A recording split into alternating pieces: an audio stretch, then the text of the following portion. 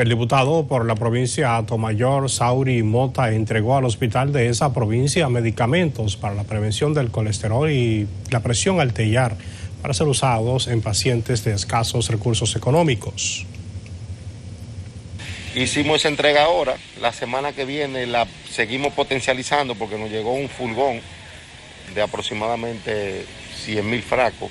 Entonces vamos a cubrir Sabana, El Valle, Atomayor, la SUNA, los campos, las policlínicas de los campos también, es decir, que vamos a irradiar ampliamente lo que es la provincia. Todo el mundo sabe o debe saber que la mayor causa de mortalidad en pacientes adultos son las enfermedades cardiovasculares, presión alta, infarto, accidentes cerebrovasculares. En las personas adultas y esta, este tipo de medicamentos, medicamentos para combatir la presión alta, que son medicamentos de última generación, lo que él ha traído, de muy buena calidad. Estas entregas continuarán en otras localidades para beneficio de la masa pobre, según expresó el legislador.